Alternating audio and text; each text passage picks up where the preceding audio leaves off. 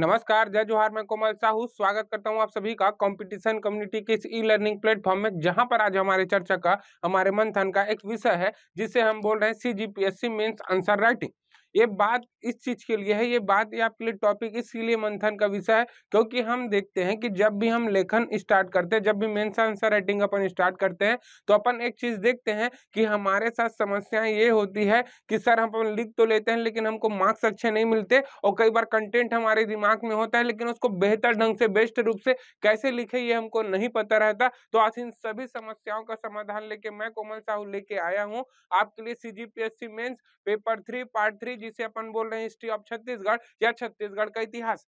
देखिए, आज के इस टॉपिक में हम क्या क्या डील करने वाले हैं, पहले ही बात कर लेते हैं। सबसे पहले है हमारे लिए दो नंबर, चार नंबर, आठ नंबर और पंद्रह नंबर के हम यहाँ प्रश्न देखने वाले हैं। दूसरा, हम इसको इंग्लिश में भी देखने वाले हिंदी में भी देखने वाले दूसरी बात, जब मैं आपको पढ़ाऊँगा, जब मैं आपको लिख के बताऊँगा, उसके बाद वो कैसे फॉर्म होगा, एग्जैक्ट अर्थ तीस वर्ड में है, दो नंबर के प्रश्न। अगर आपके लिए चार नंबर के प्रश्न सिक्सटी वर्ड्स में है तो वो कैसे आपके लिए क्या होंगे, फ्रेम होंगे तो मैं आपको फ्रेम करके भी बताऊँगा, किस चीज़ को अंडरलाइन करना है, किसको हाईलाइट करना है, किसमें कॉमा लगाना है, किसमें इन्वर्टेड कॉमा लगाना है, किसमें डबल इन्वर्टेड कॉमा लगाना है, सभी चीज़ों के ऊपर बात होगी। मतलब एक एक वीडियो में सभी समस्याओं का समाधान। चलिए भाई, बिना किसी देर के, बिना किसी विलंब के प्रारंभ करें। श्री गणेश करें आज के इस वीडियो का, जिसे हम बोल रहे हैं CGPSC mains answer writing series देखिए, अब अगर बात करते हैं हम इस संग्राम सीरीज़ में तो संग्राम सीरीज़ का मतलब है कि आपको अपने जीवन को थोड़ा सा क्या करना है? मूव करना है। यहाँ से हम कैसे पढ़ रहे हैं? सर, हमारे पास टाइम बहुत कम है।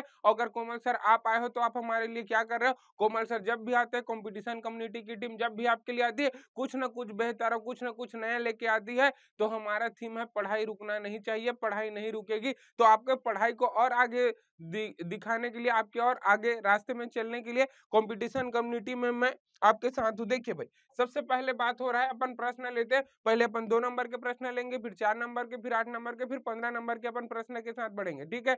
आज हम देखने वाले हैं एंशियंट हिस्ट्री ऑफ़ छत्तीसगढ़ या छत्तीसगढ़ का प्राचीन इतिहास है, इसको अपन देखने चलने वाले हैं। देखिए, सबसे पहले क्या बोल रहे हैं? सिंघनपुर की गुफा चित्रों के विषय वस्तु की जानकारी दीजिए। विषय वस्तु, या देखो, कई बार क्या होता है, हम प्रश्न को समझ नहीं पाते। तो सबसे पहला तो ये है कि जब भी कोई प्रश्न पूछा जाए, उसको एकदम ध्यान से, एकदम इत्मीनान से अपन को सुनना है। बोलो या सुनो देखिए, अब अपन को याद रखना है, सिंघनपुर की गुफा, सिंघनपुर की गुफा में जो चित्र बने, जो रॉक पेंटिंग मिला है, उसमें सब्जेक्ट मैटर जो करता है या विषय वस्तु को लिखे तो सबसे पहले जो प्रश्न पूछा है, अपन उसको लिखे अब देखिए, सबसे पहले अगर आप इसमें देखोगे तो हमको यहाँ क्या मिला है? सीढ़ी नुमा मानव। सीढ़ी नुमा मानव। सीढ़ी नुमा मानव मतलब क्या है आपके लिए? लेडर लाइक ह्यूमंस दूसरा हमको यहीं पे मिला है आपके लिए क्या? पहला सीढ़ी नुमा मानव, दूसरा आपको क्या? मुखौटा लगाए मानव मिला मुखौटा लगाए हुए मानव। मतलब बोल सकते हैं मास्क ह्यूमंस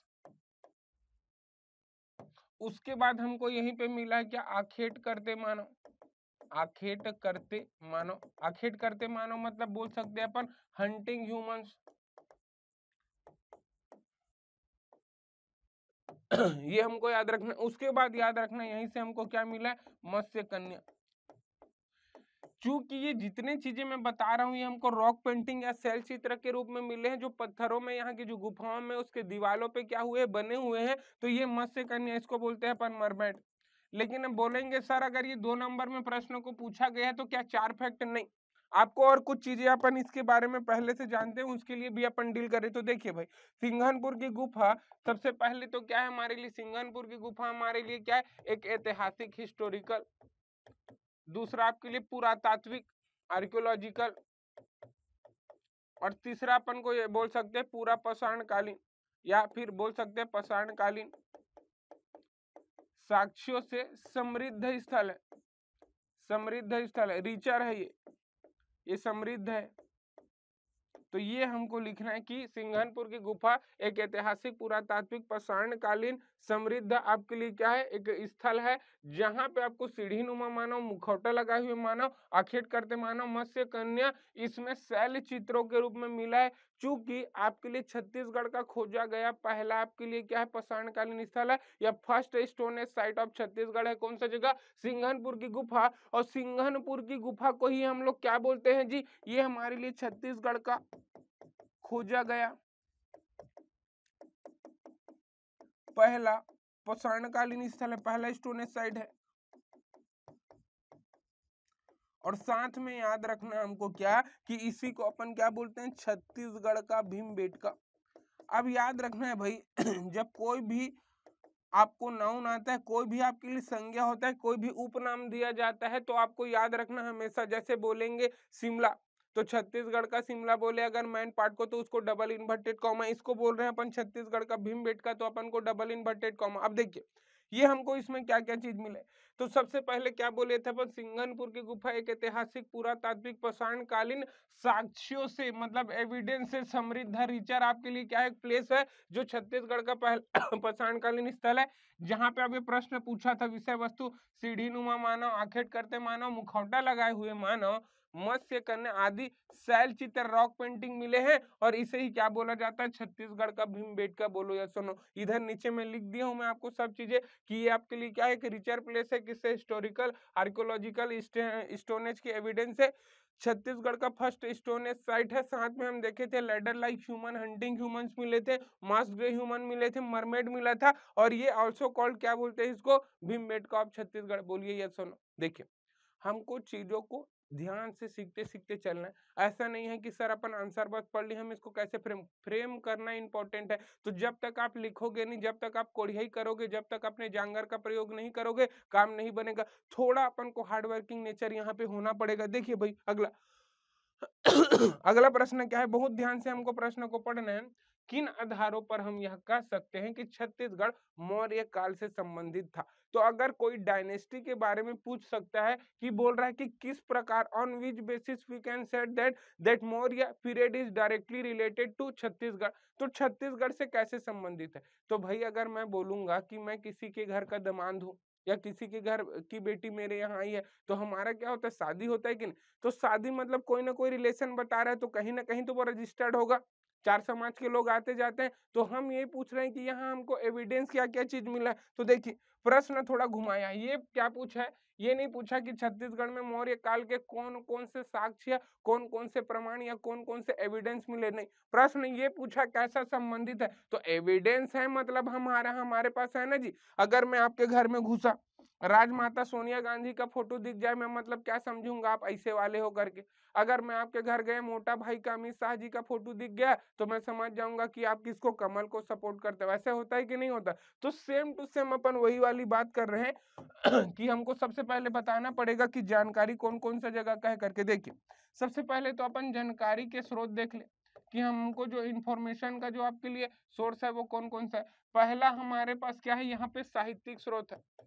साहित्यिक साहित्यिक रूप से हमको जानकारी मिलती है मतलब लिटरेरी फॉर्म में। दूसरा, दूसरापन क्या बोल सकते हैं इसको? पूरा तात्विक पूरा तात्विक रूप से। तो पूरा तात्विक रूप से देखोगे तो हमारे पास, सबसे पहले तो साहित्यिक देख ले, हमारे पास एक व्यक्ति था, नाम था यात्रियों के, राजकुमार के नाम से वेन सॉन्ग। वेन सॉन्ग था ये, वेन सॉन्ग का एक यात्रा वृत्तांत है ट्रेवोलॉग है। ये ट्रेवोलॉग या यात्रा वृत्तांत का नाम है आपके लिए क्या? सी यू की। इस की में इन्होंने क्या किया? छत्तीसगढ़ को किया सलो शब्द से, किया सलो। इस शब्द से क्या किया था? संबोधित किया था। काम का हमारा ये नहीं है कि इस शब्द से संबोधित किया। और काम का क्या है? हमारे पास सम्राट अशोक, जो एम्पर अशोक है, उसके द्वारा अनेक बौद्ध विहारों का, अनेक बौद्ध विहारों का निर्माण कराया गया मतलब बहुत सारे बौद्ध मोनेस्ट्रीज का यहाँ पे बिल्डिंग कराया गया बिल्ड कराया गया, बहुत सारे बौद्ध मोनेस्ट्रीज एक ऐसे टेडिक में चेक हो गया जी। देखिए, आगे बढ़े। अब देखिए, इसमें अगर हम देखेंगे, सबसे पहले हमको याद रखना है मुद्राएँ। मुद्राएँ मतलब याद रखना अपन को कॉइन्स को बोल रहे हैं अपन। दूसरा दूसरा हमको मिला यहीं से शिलालेख तो ये शिलालेख याद रखना है अपन को। अब देखिए अगर हम लोग बात करते हैं मुद्राएँ मुद्राएँ आपके लिए अलग अलग प्रकार की। सबसे पहले हमारे पास कॉमन कॉइन्स या सामान्य सिक्के मिले। कॉमन कॉइन्स बोलते हैं जिसको। दूसरा यहीं पे मिले हमको क्या? आहत मुद्राएँ। आहत मतलब होता है आपके लिए मूल्य का, मूल्यवान वैल्यूबल जो आपके लिए कॉइन्स होती था ये। तो मूल्यवान मुद्राएँ मिले हैं और लास्ट में याद रखना अपन को चांदी के भी सिक्के मिले। चांदी के सिक्के। अब देखिए भाई। अगर बात करता हूँ मैं किसका सामान्य सिक्कों का तो सामान्य सिक्के हमको कहाँ से मिले हैं? बी ए सॉरी आपको ए बी सी डी कर लीजिए और ज़्यादा बेहतर हो जाएगा। ए बी बी के सी के जगह में फिर बी लिख दो और डी तो देखो ए से अकल तरह बी से याद रखना अपन को बार, उसके बाद बी से याद रखना अपन को क्या? बिलासपुर बिलासपुर, उसके बाद डी डी से याद रख लेना अपन को क्या? देवगांव। देखिए जी ये हमको चार जगह मिले, आहत सिक्के, आहत। आदमी आहत कैसे हो जाता है? क्रिकेट खेलते खेलते जब वो आउट हो जाता है तो आ से याद रखना है अपन को आरंग, उ से याद रखना है अपन को उड़ेला, और टी टी से याद रखना मेरे को यहाँ पे क्या तारापुर तो मेरे को ये तीनों तीनों चीज़ याद होने चाहिए, बोलो या सुनो। तो ये हमको याद रखना है। साथ में याद रखना है अपन को चांदी के सिक्के। चांदी के सिक्के में भी हमको याद रखना आऊट लेकिन यहाँ ए ए मतलब यहाँ अकलतरा वाला है।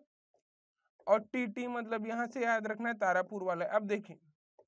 अब हमको याद रखना है कि सर शिलालेख या रॉक इंस्क्रिप्शन में क्या मिला है? तो रॉक इंस्क्रिप्शन हमको मिला है कहाँ पे? आपके लिए रामगढ़ की पहाड़ी में। रामगढ़ की पहाड़ी। ये रामगढ़ की पहाड़ी में हमारे लिए दो जगह है जी। पहले जगह का नाम है आपके लिए सीता बेंगरा। सीता बेंगरा। और दूसरे का नाम है आपके लिए क्या? जोगी मारा जोगी मारा जैसे हम सबको जा रहे हैं।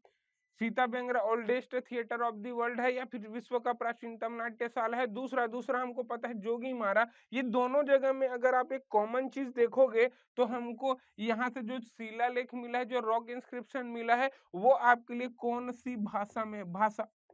तो अगर भाषा देखा जाए तो ये पाली भाषा में है जी। अगर इस लैंग्वेज स्क्रिप्ट की बात किया जाए, लिपि की बात किया जाए तो ये लिपि हमारे लिए ब्राह्मी लिपि में। ठीक, आगे बढ़े क्या? अब देखिए।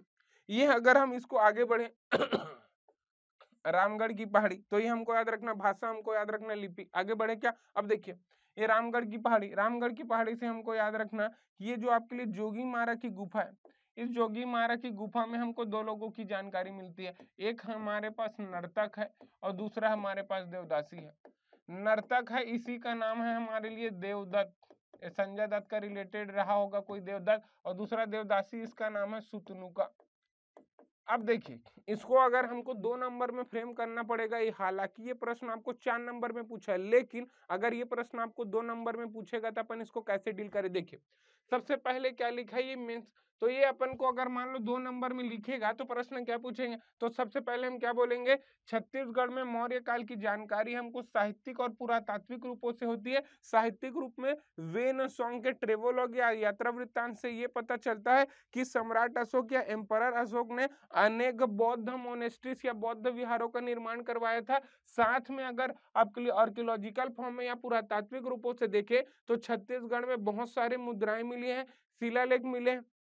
मुद्राओं में अगर देखा जाए तो मुद्राओं में हमारे पास अकलतरा बार बिलासपुर देवगांव से मिले हैं। आहत सिक्कों में आपके लिए आरंग उड़ेला तारा तारापुर से मिला है और आपके लिए जोगी मारा में क्या मिला है?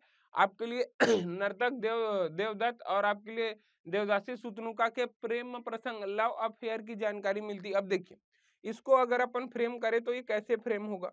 देखिए भाई, सबसे पहले हम क्या बोले थे, छत्तीसगढ़ में मौर्य वंश की जानकारी साहित्यिक रूप से, दूसरा पुरातात्विक रूप से। बच्चे ये बोलते हैं कि, सर, हम कहाँ पे अंडरलाइन करें? मैं बता दिया हूँ आपको कहाँ अंडरलाइन करना है। पुरातात्विक फॉर्म में भी देखेंगे तो हम कॉइन्स के फॉर्म में देखे थे, मुद्राओं के, दूसरा शिलालेखों में। शिलालेख में हम जोगी मारा और सीता बेंगरा दोनों में देखे थे क्या? पाली भाषा ब्राह्मी लिपि में हमको क्या मिला? है शिलालेख प्राप्त हुए। उसके बाद मौर्यकालीन मौल्यवान मुद्राएँ हमको कहाँ से मिली हैं? रायपुर ज़िले। रायपुर ज़िले से जो हम आरंग देखे थे, उड़ेला देखे थे, तारापुर देखे थे, वो सब के सब कहाँ से है? रायपुर। अब देखिए, ये दो नंबर। अगर मेरे को इसी क्वेश्चन को, इसी प्रश्न को चार नंबर में क्या करना है, डिलीवर करना है तो मैं किस प्रकार इसको करूँगा? देखिए तो हमको याद रखना यहाँ। सम्राट अशोक वेन सॉन्ग के अनुसार सम्राट अशोक द्वारा छत्तीसगढ़ के अनेक स्थानों पर बौद्ध मोनिस्ट्रीज या बौद्ध विहारों का निर्माण कराया गया।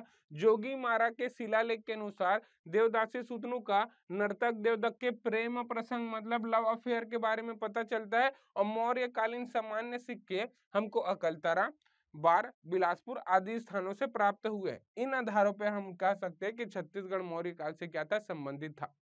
समझ आया जी प्रश्न? आपको दो नंबर में कैसे डील करना है, चार नंबर में कैसे डील करना है, ठीक? आगे बढ़े। अगर आपको वीडियो अच्छा लग रहा होगा तो मैं ज़रूर कहूँगा कि आप अगर मेरे साथ बने, कंपटीशन कम्युनिटी के साथ बने, कोमल सर के साथ बने तो एक लाइक ज़रूर करिए।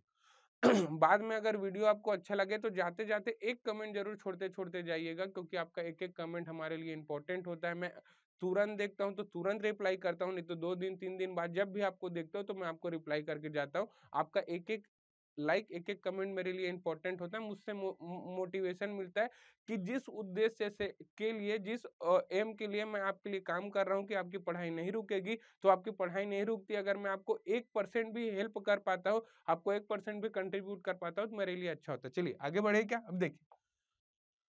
छत्तीसगढ़ में सातवाहन सत्ता के संबंध में उपलब्ध साक्ष्यों का उल्लेख कीजिए। इसमें देखिए इसमें प्रश्न को आपको डायरेक्ट पूछ दिया गया है इसमें आपको पूछा गया है कि एविडेंस कौन कौन से हमको एविडेंस मिले देखिए, हम इससे पहले क्या लिखे थे कि अगर हम जानकारी देखे थे या साक्ष्य देखे थे, देखिए, हम कैसे कह सकते हैं?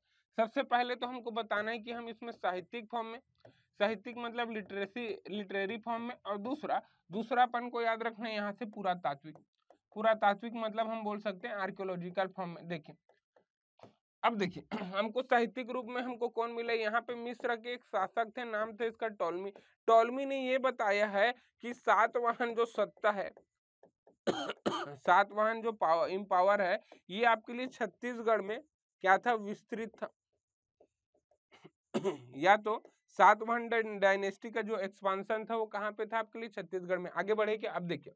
पुरातात्विक रूप से देखोगे तो आर्कियोलॉजिकल फॉर्म में सबसे पहले तो हमको याद रखना है मुद्राएँ क्वाइंसिंस के कहाँ कहाँ से मिले? तो हमको याद रखना जैसे बी तो बी का गाड़ी नहीं तो बी एम सी बी ठीक है जी? तो बी एम सी याद रखना अपन को तो बी से याद रखना अपन को क्या? बालपुर। एम से क्या याद रखना है अपन को? मल्हार। बालपुर कहाँ पड़ता है जी? शक्ति में, मल्हार कहाँ पड़ता है अपन को? मल्हार अपन को पड़ता है बिलासपुर में और यही मल्हार के बाजू में एक जगह पड़ता है चकरबेड़ा। ये चक्कर बेड़ा है जी, चक्कर भाटा नहीं, चक्कर भाटा बोदरी साइड पड़ता है, चक्कर बेड़ा है, मल्हार के जज बाजू में पड़ता है। अगर आप देखोगे कि इसमें बालपुर में तो बाल खेलते खेलते अपन क्या करते हैं, अपील तो यहाँ से राजा अपीलक की जानकारी मिलती है। दूसरा, मल्हार मल्हार से याद रखना। मल्हार से हमको किसकी, मल्हार में आपके लिए क्या मिलते हैं? पतालेश्वर महादेव। तो पतालेश्वर महादेव को अपन जाके क्या पढ़ते हैं? पाँव पढ़ते हैं तो पाँव पाँव से याद रखना पी पी से याद रखना है पुडू मावी। पुडू मावी ए ए से याद रखना है अपन को, अपीलक। उसके बाद भी वी से याद रखना है अपन को, वेद श्री, ये हमको तीनों तीनों याद रखना है। उसके बाद याद रखना चकर बेड़ा चकर बेड़ा से हमको याद रखना है, यहाँ से हमको एक रोमन कालीन सिक्का मिला है रोमन कालीन जो रोम का एक आपके लिए कॉइन्स मिला है। ये आपके लिए भारत और भारत और आपके लिए किसका? रोम के। अंतरराष्ट्रीय व्यापार अंतरराष्ट्रीय व्यापार मतलब बोल रहे हैं इंटरनेशनल ट्रेड को बताता है, ये उसका संकेतक है, उसका सिंबल है। कौन सा आपके लिए चौकर बेड़ा से जो आपको कॉइन्स मिला है? आगे बढ़े क्या? आपके लिए इतना इनफ है। अब देखिए, अगला अगला दूसरा हमको चलना है कि क्या हमको यहाँ से शिलालेख भी मिला है? शिलालेख रॉक इंस्क्रिप्शन मिला है। तो ये शिलालेख कहाँ से मिला अपन को? गुंजी से। लेकिन देखिए, प्रश्न इसमें कितना नंबर पूछा था? दो ही नंबर अब देखिए, अपन इसको दो नंबर के बाद चार नंबर में कैसे एक्सपांड कर सकते देखिए गुंजी गुंजी से हमको एक राजा सातवाहन कालीन एक रूलर वरदत्त की जानकारी मिलती। है ये वरदत्त अपने आयु को बढ़ाने के लिए, आयु में वृद्धि के लिए या एज इंक्रीमेंट के लिए, अपने एज को इंक्रीमेंट करने के लिए दो बार, टू टाइम्स ब्राह्मण को या ब्राह्मणों को क्या देता है? एक एक हज़ार गाँव को एक एक हज़ार गायों को क्या करता है? डोनेट करता है। एक हज़ार गायों को दान। तो ये याद रखना है अपन को, ठीक है जी? अब देखिए उसके बाद याद रखना अपन को क्या यहाँ से? किरारी। सॉरी, किरारी नहीं बोलना चाहिए, पहले अपन लिख लेते हैं स्तंभ लेख। स्तंभ लेख। ये स्तंभ लेख से याद रखना, स्तंभ लेख को बोलते हैं अपन वुडन पिलर तो ये हमको मिला है कहाँ से? किरारी से। ये अगर किरारी में देखा जाए तो 1921 में मिला था हमको। तालाब का नाम था हीराबंद तालाब। ये हीराबंद नाम का हमारे पास एक तालाब था।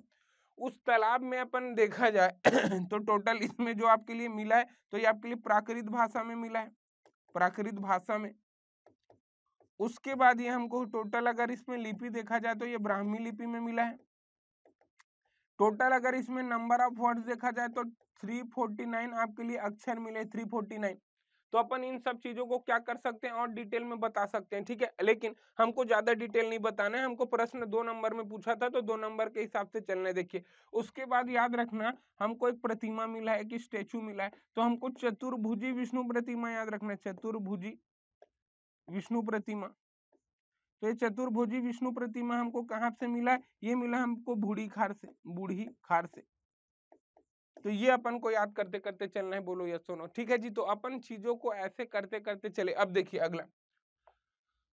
हमको ये सातवाहन काल, अब देखिए इसी प्रश्न को अगर केवल दो नंबर में फ्रेम करना हो तो कैसे करें? क्या लिखे छत्तीसगढ़ में सातवाहन कालीन जानकारी हमको जैसे पिछले क्वेश्चन में लिखे थे अपन, साहित्यिक, और दूसरा क्या लिखेंगे? पुरातात्विक। देखिए, आप एक पैटर्न को नंबर ऑफ़ टाइम रिपीट करोगे तो आपको चीज़ें बेहतर ढंग से याद होगी और ज़्यादा कंसाइज हो कि आप क्या कर सकते हो? आंसर राइटिंग कर सकते देखिए टॉलमी की यात्रा वृत्तांत के अनुसार एवं पुरातात्विक रूपों में हमको सातवाहन कालीन क्या मिली है? मुद्राएँ मिली है, अंडरलाइन शिलालेख, रॉक इंस्क्रिप्शन मिले हैं, जो आपके लिए गुंजिया दमोदरा बताया था, जहाँ वर्दत्त की जानकारी मिलती है, जहाँ वो अपने एज इंक्रीमेंट के लिए या वायु, आयु को बढ़ाने के लिए टू टाइम्स क्या किया था आपके लिए? एक एक हज़ार जो काउ है या गायों का क्या किया था? दान किया था या डोनेशन किया था? और उसके बाद क्या याद रखना अपन को? कास्ट अभिलेख कास्ट स्तंभ वुडन पिलर बताया था आपको कहाँ से? किरारी से। और हमको क्या मिला है? एक प्रतिमा मिला है, एक स्टेचू मिला है, चतुर्भुजी विष्णु प्रतिमा। ये कहाँ से मिला अपन को? बूढ़ी खार से। एक बूढ़ी खान मल्हार के आसपास में मिलता है, बिलासपुर ज़िले में ही मिलता है। तो देखिए, हम चीज़ों को हमको केवल कितने नंबर में पूछा था? दो नंबर। अब देखिए इसी प्रश्न को अगर मेरे को चार नंबर में पूछेगा तो मैं कैसे लिखूँगा? अब मेरे पास ये चीज़ें हैं तो मैं शिलालेख के बारे में थोड़ा सा बता दूँगा। गुंजी से प्राप्त शिलालेख के अनुसार से सातवाहन कालीन शासक वरदत्त ने अपने आयु को बढ़ाने के लिए दो बार हज़ार गायों को दान दिया। पहला, एवं किरारी से जो काष्ट स्तंभ लेख प्राप्त हुए हैं, जो आपके लिए प्राकृत भाषा में लिखे हुए हैं आपके लिए ब्राह्मी लिपि में लिखे गए हैं, और ये हमको याद रखना आपके लिए क्या? क्या बोलते हैं इसमें टोटल 349 वर्ड्स मिले हैं? और वर्तमान में अभी करंट टाइम में अगर ये देखोगे तो हमको रायपुर संग्रहालय में स्थित है। हम ये चीज़ों को बता सकते हैं। और याद रखना हमको क्या मिला है यहाँ से? बूढ़ी खार से एक प्रतिमा मिला है करके, जो आपके लिए सातवाहन कालीन है। क्लियर जी? तो हम ऐसे चीज़ों को थोड़ा थोड़ा बता सकते हैं। तो ये अगर हम इसी को क्या करें? थोड़ा सा और इलिब्रेट करें। ये इस प्रतिमा की सबसे खास बात यह है कि अगर कोई फोम, फोर आर्म्ड आपके लिए क्या है, विष्णु जी का कोई स्टेचू है या चतुर्भुजी विष्णु प्रतिमा है तो भारत का सबसे प्राचीनतम है, ओल्डेस्ट आपके लिए क्या है, कोई स्टेचू है जिसमें क्या लिखा है, अभिलेख या इंस्क्रिप्शन मिला है, इसलिए बहुत इंपॉर्टेंट है, ठीक? अगला अगला प्रश्न हम देख रहे हैं। हम किन आधार ये मौर्य काल हो गया हमारे लिए, अब देखिए, ये भी हो गया, अब देखिए, पूछ रहा है आरंग से प्राप्त ताम्रपत्र के आधार पे राष्ट्रीय तुल्य कुल्य वंश के बारे में जानकारी दीजिए। देखिए, राष्ट्रीय तुल्य कुल्य वंश की जानकारी। देखिए, आरंग से प्राप्त ताम्रपत्र अब बहुत ध्यान से समझिए इसको। आरंग से प्राप्त ताम्रपत्र अब देखिए, ध्यान से। सबसे पहले तो हमको याद रखना है, राष्ट्रीय तुल्य वंश, ये छत्तीसगढ़ का सबसे प्राचीनतम क्षेत्रीय राजवंश। मतलब it is the oldest regional dynasty of Chhattisgarh called राष्ट्रीय तुल्य कुल डायनेस्टी ठीक है, अब देखिए, इस राजवंश की जानकारी, अगर इसकी जानकारी देखा जाए तो हमारे पास एक शासक थे इसी राजवंश में, उसी का नाम है भीमसेन सेकंड या भीमसेन द्वितीय। भीमसेन, एक, दो, तीन, चार और सेकंड को दो लिख लिए तो टोटल हमारे पास कितना हो गया? छह। तो छह शासकों की जानकारी मिलती है अपन को। छह शासकों की जानकारी। अब छह शासकों की जानकारी मिलती तो ये भीमसेन द्वितीय के द्वारा ये जारी करवाया गया था। तो इस जो आरंग ताम्र पत्र में या आरंग कॉपर प्लेट से हमको छह राजाओं की जानकारी मिलती है और ये अपने माता पिता के स्मृति में, अपने माता पिता की स्मृति में in the memory of their, her parents या हिज पेरेंट्स बोल सकते हैं। तो ये अपने क्या बोलते हैं माता पिता के स्मृति में क्या करता है आपके लिए? भट्टपल्ली या भट्टपालिका, पहले की किताब क्या लिखते हैं? भट्टपालिका बोलते हैं, अभी की किताब भट्टपल्ली लिखते हैं। तो भट्टपालिका या भट्टपल्ली नामक ग्राम को क्या किया था? दो लोग थे, एक आपके लिए कौन? हरी स्वामी और दूसरा आपके लिए कौन था? बप्पा स्वामी। बप्पा स्वामी, ये दोनों जो आपके लिए लोग थे, इनको क्या किया थे? वो दान दिए थे। ये आपको दो नंबर। अगर यही क्वेश्चन आपको चार नंबर में पूछा, यहाँ तो आपके लिए दो नंबर लिखा है ये दो नंबर के लिए इतना हो जाएगा। चार नंबर में हम और चीज़ें बताएँगे। ये जो भीमसेन का आपके लिए आरंग ताम्रपत्र है। आरंग ताम्रपत्र या कॉपर प्लेट है। इसमें हमको 182 या 282 इसमें क्या मिला है? 182 या 282 क्या मिला है? गुप्त संवत मिला है। गुप्त संवत, अगर ये एक राजवंश है जो दूसरे का आपके लिए कैलेंडर चला रहा है या संवत चला रहा है, इसका सीधा सीधा मतलब ये होता है कि वो उनके अधीन थे। तो इतिहासकार ये बताते हैं कि आपके लिए जो राष्ट्रीय तुल्य वंश वाले हैं, ये किनके अधीन थे? गुप्तों के अधीन थे। गुप्तों के अधीन। अब हमको पहले से पता है कि इसमें कितने शासक है? छह शासक। अब जो चार नंबर वाले हैं, दो नंबर में तो अपन उतना को लिखेंगे, चल जाएगा। इसमें अब अपन पूरे छह शासकों को बता दिए। सबसे पहले हमको बताना है कि यहाँ पे पहले टॉप में लिखा है सूर्य सूरा। तो सूर्य सूरा, दूसरा में हमको लिखा है दैत प्रथम। उसके बाद लिखा है अपन को विभीषण। विभीषण। अब लिखो, देखो, ये भी विभीषण, अब हमको याद रखना है यहाँ से भीमसेन प्रथम भीमसेन प्रथम, एक आदमी आएगा हमारे पास कौन? भीमसेन द्वितीय, अब देखो भीमसेन प्रथम, भीमसेन द्वितीय, ये दोनों के बीच में अपन को ये सूरा के बाद कौन सा? दैत प्रथम। ये दोनों के बीच में अपन को एक और राजा का नाम लिख देना है, दैत सेकंड या दैत द्वितीय। तो हमको ये छह राजाओं की जानकारी मिलती है। चूँकि जो सूर्य सूरा जो है, इसका नाम सबसे टॉप में है तो इसी के नाम पे इस राजवंश को सूरा राजवंश भी बोला जाता है। अब देखिए, इसको अगर अपन फ्रेम करें तो कैसे करेंगे? देखिए। सबसे पहले आरंग ताम्रपत्र के आधार पर राष्ट्रीय तुल्य कुल वंश की जानकारी हमको क्या होती है, प्राप्त होती है, जिसमें भीमसेन द्वितीय के आरंग ताम्रपत्र से होती है, जिसमें टोटल कितने? छह शासक तो जितने इंपॉर्टेंट पॉइंट्स हैं, हम उसको क्या कर दिए? अंडरलाइन उसके बाद यह अपने माता पिता के स्मृति में। दो लोग कौन थे? हरि स्वामी और बप्पा स्वामी नामक ब्राह्मणों को भट्टपल्ली या भट्टपालिका नामक गाँव को क्या किया था? दान दिया था या डोनेशन दिया था? इसका उल्लेख मिलता है। हम इसी ताम्रपत्र में, इसी कॉपर प्लेट में देखे थे कि 182 या 282 गुप्त संवत उल्लेखित है। इससे मैं नहीं बोल रहा हूँ भाई इतिहासकार अनुमान लगाते हैं कि यह जो राजवंश है गुप्तों के क्या रहा होगा? अधीन रहा होगा। इसमें टोटल छह राजाओं की जानकारी मिलती है सूर्य सूरा दैत प्रथम विभीषण भीमसेन प्रथम भी, दैत द्वितीय और भीमसेन द्वितीय। सूर्य सूरा का नाम शीर्ष होने पर टॉप में लिखे के कारण इस राजवंश को सूर्य सूरा राजवंश भी बोलते हैं। बोलो या सुनो। तो ये था आपके लिए, दो नंबर में पूछेगा तो इतना, चार नंबर में पूछेगा तो ऐसा। अपन को थोड़ा सा पैटर्न को सीखते सीखते चलना है कि किस प्रकार चीज़ें हमारे लिए रिलेवेंट हो सकती है और कैसे जो आपके लिए चेकर है उसको हम ज़्यादा से ज़्यादा नंबर देने पे मजबूर कर सकते हैं। तो देखिए, हमको चीज़ें अच्छी सी भी लिखनी है, दूसरे अपन को क्या करना है, अंडरलाइन का उनको बहुत ध्यान देना है। साथ में अपन जो कॉमा लगा है वो कहाँ कहाँ पे कॉमा लगा है कहाँ कहाँ पे अपन फुल स्टॉप लगा रहे हैं, कहाँ पे अपन संबंध वाचक मतलब पहले चीज़ को दूसरी चीज़ से कनेक्ट कर रहे हैं, उसका बहुत ध्यान देना। हिंदी मीडियम वालों को मैं एक चीज़ और बोलूँगा, जब भी एक लाइन चलते रहेगा तो एक लाइन में दो बार और, दो बार तथा, दो बार एवं वर्ड नहीं यूज़ कर सकते। एक बार बोलेंगे अपन वहीं पे तथा, दूसरे में एवं और तीसरे में बोलेंगे और तो अगर हम ऐसे चीज़ों को क्या करते रहेंगे के बाद दूसरा दूसरे के बाद तीसरा, जब तक फुल स्टॉप ना आए, तब तक कोई भी अपन संबंध वाचक जो आपके लिए शब्द रहेगा, उसको बार बार प्रयोग नहीं कर सकते। इसका बहुत ध्यान देना अपन को। इंग्लिश में दिक्कत नहीं इंग्लिश वाले सिर्फ़ एंड एंड बोल के निकाल देते हैं, ठीक? अगला।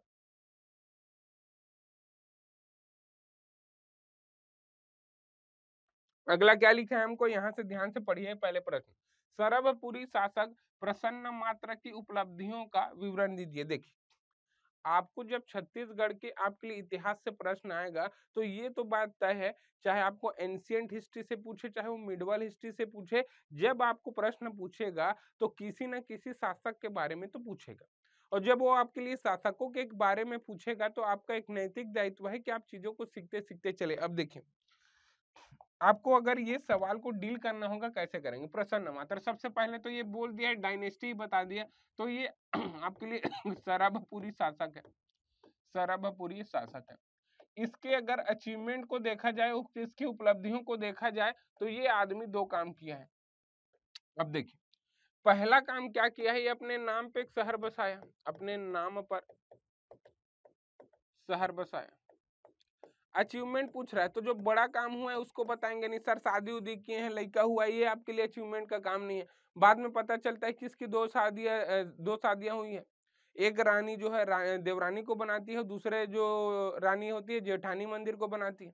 एक दिन मैं क्लास में पढ़ा रहा था, बोलते, सर, इसकी दो शादी। तो दो शादियाँ कौन सा अचीवमेंट वाला बात है? जी, शादी अचीवमेंट नहीं, वो शादी के बाद क्या आपके लिए काम किया है? किसके लिए अपने डायनेस्टी को बढ़ाने के लिए, वो आपके लिए काम का है, ठीक है? तो देखिए, ये अपने नाम पे एक शहर बसाता है, इसी शहर को अपन क्या बोलते हैं? प्रसन्नपुर। दूसरा दूसरा अपन को याद रखना यहाँ। ये क्या किया था? एक आपके लिए ताला गाँव बिलासपुर। ये बिल्हा तहसील जाओगे तो ताला गाँव बिलासपुर में क्या मिलता है? एक मंदिर मिलता है, मंदिर का नाम है, एक मंदिर का नाम है देवरानी और दूसरे मंदिर का नाम है जेठानी। हालाँकि हम लोग इसको एक साथ प्रोनाउंस करते हैं, हम इसको बोलते हैं देवरानी जेठानी। देवरानी जेठानी शिव मंदिर है ये। भगवान शिव को, शंकर जी को समर्पित मंदिर है ये। इस मंदिर की सबसे खास बात ये कि ये छत्तीसगढ़ का सबसे पुराना मंदिर है, छत्तीसगढ़ का सबसे प्राचीन मंदिर। अभी छत्तीसगढ़ का सबसे प्राचीन मंदिर है, ये खोजा गया था हमारे लिए 1987 में पुरातत्व विभाग के द्वारा। उससे पहले ये आपके लिए एक नदी है, नदी का नाम है मनियारी नदी। इस मनियारी नदी के तट पे है।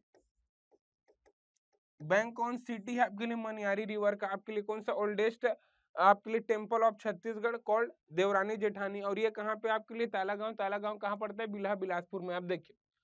अब ये पूछ रहा है कि इसकी उपलब्धियाँ क्या है? तो सबसे पहले हम बताएँगे कि सरबपुरी शासक प्रसन्न मात्र अपने नाम पे एक शहर बसाता है प्रसन्नपुर। साथ में आपके लिए क्या?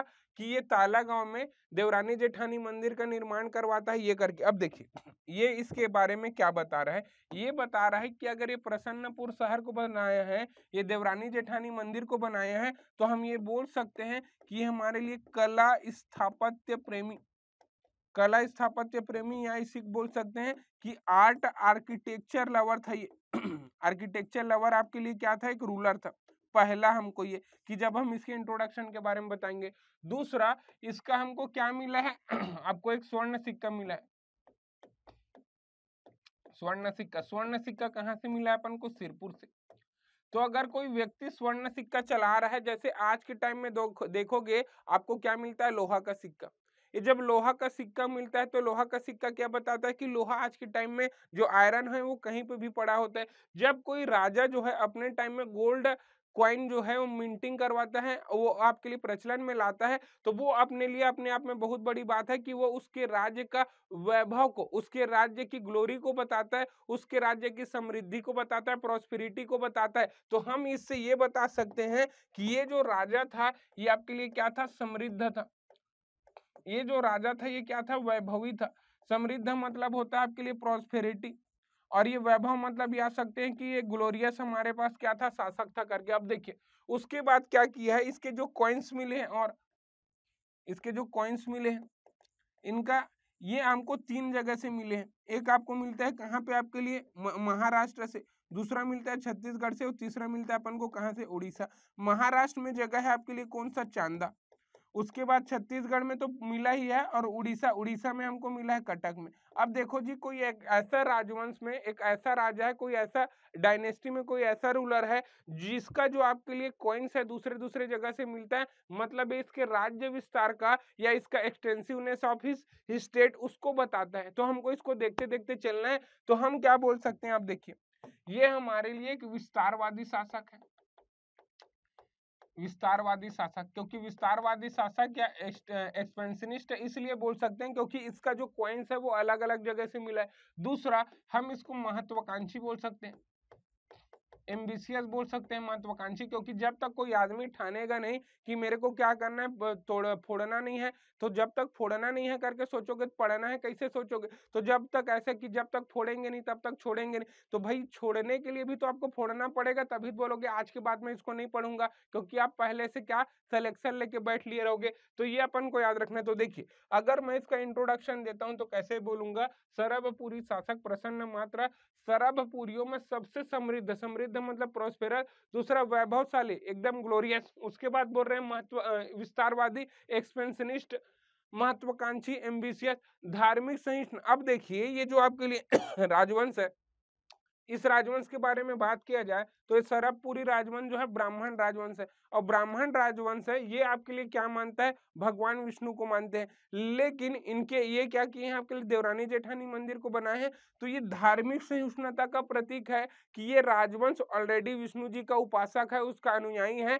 साथ में क्या कर रहा है? आपके लिए शिव मंदिर को बनवा रहा है। तो धार्मिक रूप से सहिष्णु या फिर रिलीजियस टॉलरेंस आपके लिए क्या है? एक डायनेस्टी एक राजवंश है। तो धार्मिक सहिष्णु है, कला स्थापत्य प्रेमी आर्किटेक्चर लवर है और ये अपने नाम पे एक शहर बसाता है, प्रसन्नपुर कौन से नदी के किनारे? निडीला नदी के किनारे, जिसको आज वर्तमान में हम बोलते हैं लीलागर नदी। ये करवाया और इसको क्या बनाता है अपनी राजधानी? अब देखिए। इन्होंने सरबपुरियों में सर्वाधिक स्वर्ण सिक्कों का प्रचलन करा है, जो इनके समृद्धि और वैभव का क्या है, परिचायक है। ताला गाँव में मनियारी नदी के किनारे देवरानी जेठानी शिव मंदिर का निर्माण करवाया जो इनके धार्मिक सहिष्णुता क्या है या रिलीजियस टॉलरेंस का प्रतीक है। सिक्के में कटक चांदौर छत्तीसगढ़ से है, जो इसके राज्य विस्तार का एक्सटेंसिवनेस ऑफ़ स्टेट उसका क्या सिंबल है। तो हम किसी भी राजा को बताया अभी अपन जाजल्य देव को भी देखेंगे, बाद में हमारे पास और शासक भी आएँगे, हम बिंबाजी भोसला को देखेंगे। तो जब हमको ऐसा कोई चीज़ें पूछता है तो हमको थोड़ा सा ध्यान लगा के किस शब्द को कैसे प्रयोग करें, किस शब्द को कैसे यूज़ कर सकते हैं। अगर हमको ये कला पता चल गया, अगर हमको ये स्किल समझ आ गया तो वो हमको नंबर देने में क्या हो जाएगा, मजबूर बोलो या सुनो, ठीक? आगे बढ़े क्या? आपको चीज़ें कैसे लग रही है? जी, एक बार मेरे कमेंट करके बताएँ, एक बार मेरे लाइक कर दे, देख। अब आपको पूछा है, अरे! प्रश्न नहीं आ गया डायरेक्ट आंसर आ गया देखिए। महाशिव तिवर देव के उपलब्धियों का प्रकाश उसके उपलब्धियों पर प्रकाश डालिए, अचीवमेंट पूछ रहा है कि कोई राजा अचीवमेंट कब होगा? तो अचीवमेंट जब भी किसी भी राजा के बारे में पूछा जाता है तो सबसे पहले हमको देखना है कि क्या वो किसी शहर का निर्माण करवाया है क्या नहीं? वो कोई बड़ी उपाधि धारण किया है क्या नहीं? या किया है कि नहीं तो पहले उसको देखना पड़ता है कि उसका राज्य विस्तार कहाँ है, दूसरा कोई शहर बसाया क्या, उसके बाद वो कोई मंदिर बसाया क्या। देखिए, सम्राट अशोक को हम लोग इसलिए जानते हैं कि हालाँकि वो बौद्धिस्ट थे, लेकिन वो जैनों का भी संरक्षण करते थे, उनका भी रिजर्वेशन करते थे। साथ में जो वैष्णव आपके लिए थे, जो आपके लिए शैव धर्म के मानने वाले थे किसी के ऊपर उन्होंने प्रहार नहीं किया कि आप इसको नहीं कर सकते करके। वो बोले जिसको जो मानना है माने लेकिन जो बौद्ध धर्म को मानेगा मैं उसको ज़्यादा आगे बढ़ाते बढ़ाते चलूँगा। ऐसा होता है कि नहीं? तो यही तो रिलीजियस टॉलरेंस है यही तो धार्मिक सहिष्णुता है। इसीलिए जो भारत है उसमें आप देखोगे सब धर्म के सब जात के सम, सब संप्रदाय के लोग क्या है? एक साथ एग्जिस्ट करते हैं एक साथ अस्तित्व में है और किसी को किसी से कोई दिक्कत नहीं है करके। ठीक है जी? देखिए। अब तीवर देव तीवर देव के बारे में हम क्या जानते हैं कि तीवर देव हमारे लिए क्या था? एक पांडुवंशी शासक था। एक पांडुवंशी शासक था, एक रूलर था। पांडुवंशी शासक था, ये याद रखने। दूसरा, अगर हम इसकी उपलब्धियों के बारे में बात किया जाए तो देखिए, इन्होंने पहली बार क्या किया था? सकल कौशलाधिपति सकल कौशलाधिपति इसका क्या किया था? उपाधि धारण किया था। सकल कौशलाधिपति, अब ये बोल रहा है संपूर्ण कौशल। तो उस टाइम में कौशल में दो तीन जगह आते थे। पहले अपन को याद रखना है मैकल पर्वत। दूसरा जो आपके लिए छत्तीसगढ़ और मध्य प्रदेश में फैला है, दूसरा दूसरा अपन को ले ले छत्तीसगढ़ जो अभी है और तीसरा उत्कल का कुछ हिस्सा। तो ये व्यक्ति आपके लिए मैकल को पूरा जीत चुका रहता है, छत्तीसगढ़ को पूरा जीत चुका रहता है और उत्कल मतलब उड़ीसा के कुछ हिस्सों को जीत चुका रहता है और अपने आप को बोलता है कौशलाधिपति तो ये छत्तीसगढ़ का पहला राजवंश है और छत्तीसगढ़ का पहला शासक है जिसने छत्तीसगढ़ को कौशल शब्द से कहा, क्योंकि अपने आप को क्या बोला है? कौशलाधिपति मतलब कौशल वर्ड बोला है है छत्तीसगढ़ के लिए। इससे पहले हम जितने पढ़ते आते हैं, चाहे वो आपके लिए मौर्य में पढ़े चाहे अपन किसमें पढ़े, रामायण में पढ़े, महाभारत काल में पढ़े, हम हर जगह क्या पढ़ते हैं? दक्षिण कौशल दक्षिण कौशल दक्षिण कौशल। हम यहाँ पहली बार पढ़ रहे हैं कि इन्होंने क्या कहा है? छत्तीसगढ़ को कौशल। तो छत्तीसगढ़ को कौशल शब्द से संबोधित करने वाले या छत्तीसगढ़ को कौशल शब्द से मेंशन करने वाले, ये पहले राजवंश में। अब देखो, इन्होंने सकल कौशलाधिपति की उपाधि धारण की। अब ये एक टाइटल को क्या किए? ग्रेप किए। अब इसी में क्या किया इन्होंने? इनके जो काल को आपके लिए पांडु वंश का, पांडु वंश का उत्कर्ष काल माना जाता है। उत्कर्ष काल। मतलब हेडे ऑफ़ या फिर इमर्जिंग इरा पांडु डायनेस्टी बोला जाता है इनके टाइम को किसको महाशिव तिवार देव देखिए, अगर अपन इसको चाहे थोड़ा और अलग तरीके से डील कर सकते थे, चूँकि प्रश्न का डिमांड केवल दो नंबर का है। अगर ये चार नंबर में पूछता तो हम बताते कि इसके राज्य विस्तार की जानकारी हमको तीन जगह से मिलती है।